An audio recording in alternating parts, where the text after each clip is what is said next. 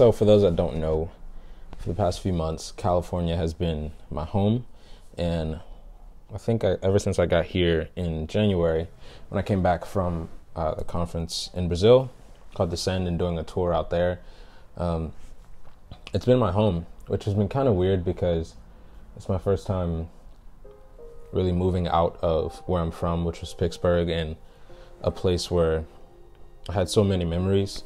Um, but at the same time, I never felt like I was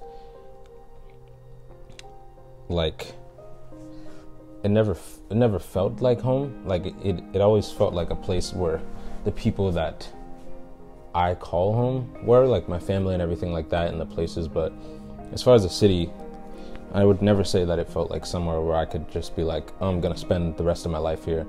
That's no diss to the city, but that's just the person I am. I think I'm like called and just a person that just likes to be in a bunch of different places. And so it's weird to it's been weird to like leave that place kind of and, and, come to this place.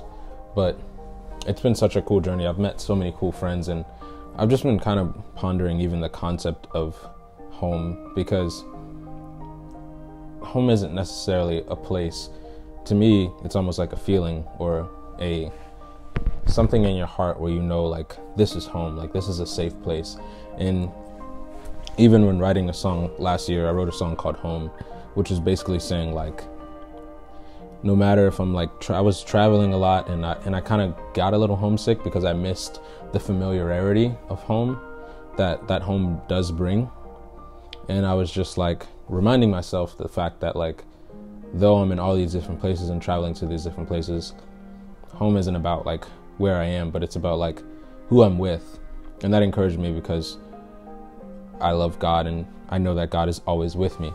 And no matter where I am, like I'm always going to be safe.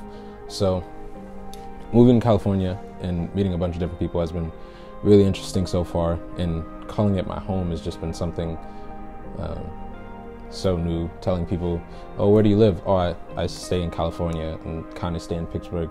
It's been such a weird thing. And I really want to document this time in my life to remind myself of like this time and where I am because I think it's such a special time.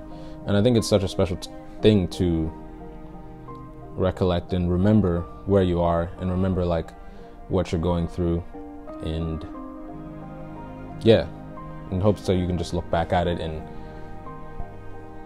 and kind of see how far you came. So these vlogs, especially ones like these are more just updates on how life is and how I'm doing.